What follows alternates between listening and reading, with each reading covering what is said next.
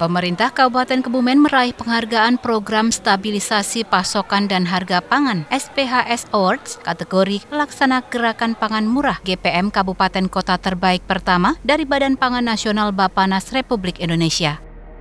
Penghargaan diberikan langsung oleh Kepala Bapanas Arif Prastio Adi kepada Bupati Kebumen Arif Sugianto di The Sultan Hotel Jakarta Minggu 28 Juli 2024. Bupati menyampaikan bahwa penghargaan SPHP Award didapat karena Kebumen dinilai berhasil menekan inflasi.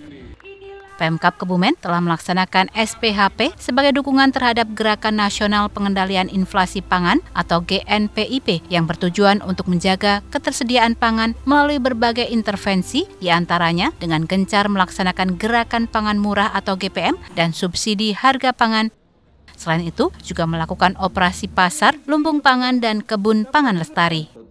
Untuk GPM, sejauh ini Pemkap Kebumen telah mengadakan GPM sebanyak 45 kali di 26 kecamatan.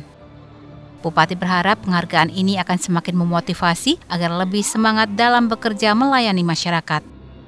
Sementara itu, di tempat yang sama, Kepala Distapang Kabupaten Kebumen Teguh Yuliono menyambahkan, Pemkap Kebumen banyak mengadakan GPM bukan karena ada sokongan dana dari pusat, melainkan berkat swadaya gotong royong antara BUMD PT Aneka Usaha Kebumen Jaya dengan sektor pangan dan pertanian.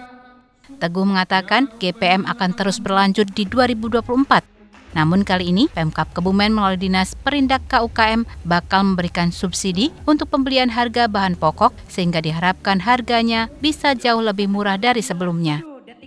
Selain mendapat penghargaan, Pemkap Kebumen juga mendapatkan bantuan sarpras dari Bapanas berupa satu unit river container atau peti kemas berpendingin yang akan diberikan untuk BUMD PT Aneka Usaha Kebumen Jaya. Pemerintah Kabupaten Kebumen mendapatkan bantuan tempat pendingin daging ataupun bisa pendingin ikan.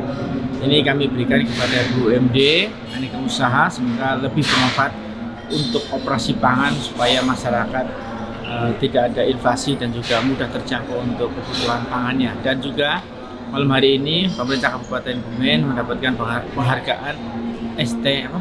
SPHP SPHP. Malam hari ini juga kita mendapatkan penghargaan SPHP Award jadi luar biasa terima kasih untuk seluruh jajaran pemerintahan yang telah bergerak bersama untuk pelayanan kepada masyarakat. Dari Jakarta, tim liputan Kebumen TV memberitakan.